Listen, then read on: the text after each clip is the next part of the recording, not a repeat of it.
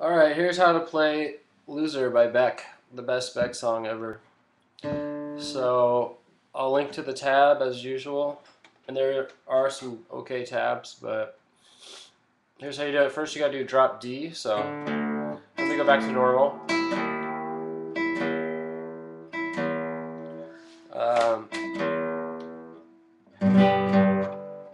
so if it's close to normal, do is you hit the D string and then this D.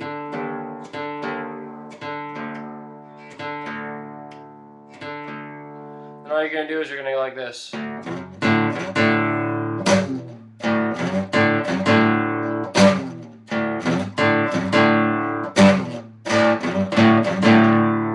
So what I'm doing is I'm hitting the bass string, and I'm sliding. I like to slide my middle finger, it doesn't matter, whatever finger.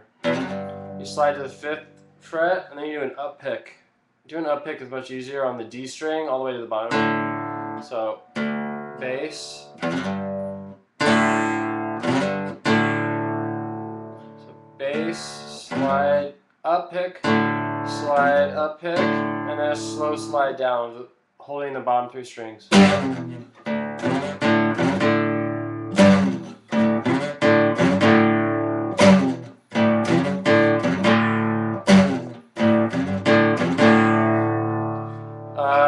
Part's a little tricky. Let me see what they have in the tab.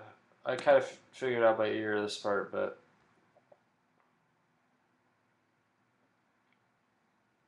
I pretty much have the same thing, except I'm not worried too much about getting every note specific. So here's what I do. I put my first finger on the 7th fret, then hit the D string, so you go. I'm going open D, 7, 9, 7, slide to 11 two times, back to 7, 9, 7, so.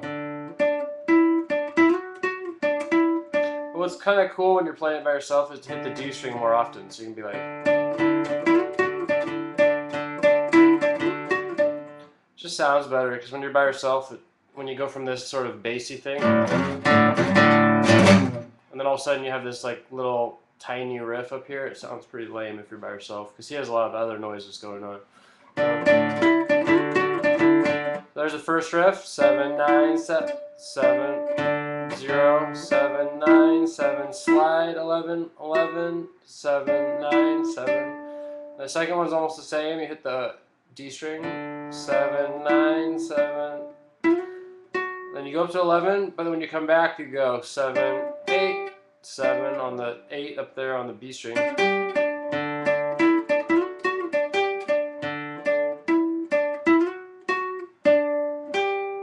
just do it a few times. Same deal, you can hit this D string as much as you want to kind of fill it out so it doesn't sound as wispy. So, here's both of them together.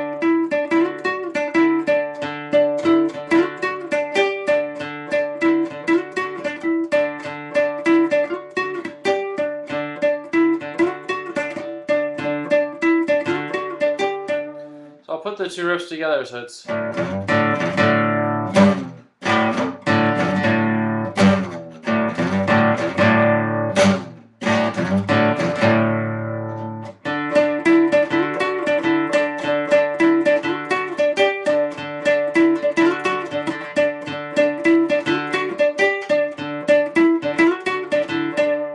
So that's it. That is Beck's Loser. Then you just gotta get some weird masks and get a little crazy. But it's a pretty fun song to play. It sounds better on acoustic with some thicker gauge strings than on nylon, but um, you gotta make sure your strings are kind of thick if you really want it to sound bassy like the uh, original. So I'll attach the tab. Good luck. Make sure you do drop D tuning, and that's it. Bye.